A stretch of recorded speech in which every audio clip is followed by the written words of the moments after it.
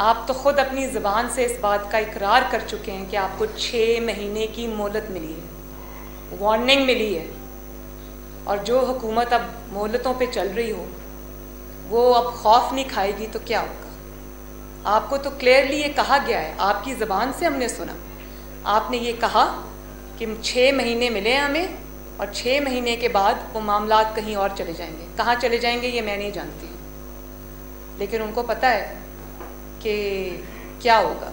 तो ये खौफ, ये जो अचानक ये पैनिक की एक लहर उठी है, उसकी ये वजह है। और आपने फरमाया कि अब मैंने कश्तियाँ जला दी।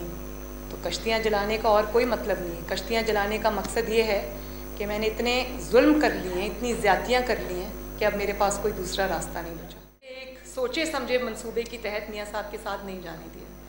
तो मैं इस नतीजे पे पहुँची हूँ कि मुझे इधर एज हॉस्टेज रखा हुआ था कि अगर अगर मैं कोई बात करूँ तो वहाँ पर वो मियाँ साहब को नुकसान पहुँचाने की कोशिश करें। मैं अपनी, अपना कुछ ऐसा करके मैं उनके इलाज में कोई खलल नहीं चाहती थी, क्योंकि वो सिर्फ़ मेरे वालिद नहीं हैं, वो इस कौम का सरमाया है।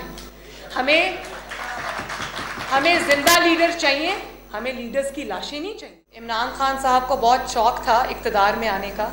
पहले उनको आने का शौक था, अब जाने का खौफ है।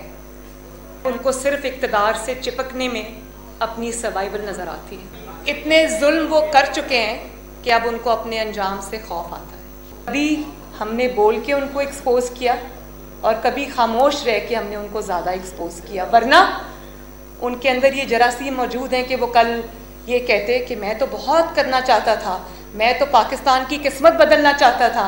मैं तो दूध और शहद की नहरें बहाना चाहता था। ये ऑपोजिशन ने मुझे कुछ करने नहीं दिया। तो इसलिए हमने खामोश रह के उनको ज़्यादा एक्सपोज किया, लेकिन मुझे इस बात की आज खबर हुई कि मेरी जो खामोशी है या जो मियाँ साहब की खामोशी है, वो इतनी गूंज रही है कि इनको कानों पे हाथ रखने पड़ गए।